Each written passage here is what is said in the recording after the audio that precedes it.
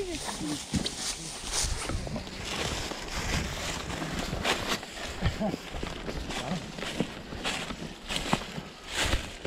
just killed one yesterday, and he killed one last again. I, got five in the freezer now. I got four in the freezer from last year.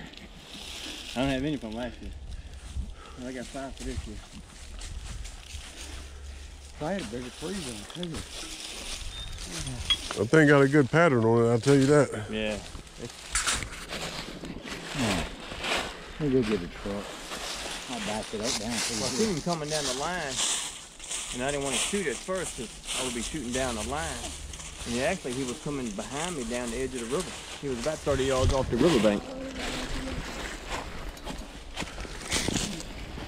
You sure? He's gonna bring the truck on there.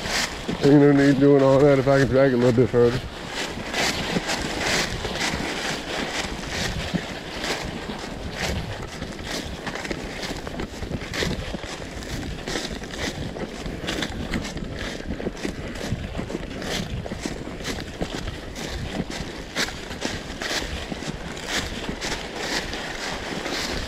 Let him back it up right here instead of going through all that crap. Yeah.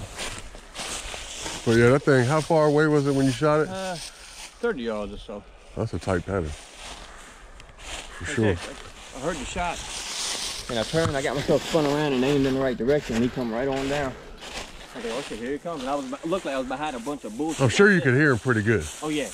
I was behind a bunch of bullshit like this, and I let him come right on out. Boom, rolled his ass. And the second shot, I shot over him. He was trying to get up, and as soon as I shot, he just dropped on down. I said, well, I ain't shooting him a third time, wasting a four dollar bullet. Somebody else killed a nice buck. Yeah. I don't know if William was talking about this buck coming into the drive, or, or if he was talking about the one he shot. I don't even know. I just kind of lost track, turned the radio down because that shot was real close to me. I said, oh no. We got the people coming to pick the dogs up right here. Yeah, good. Hey, who's down here on uh at the washout?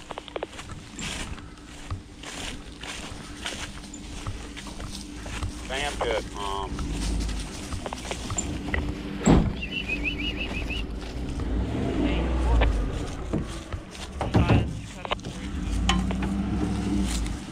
where you gonna come out at,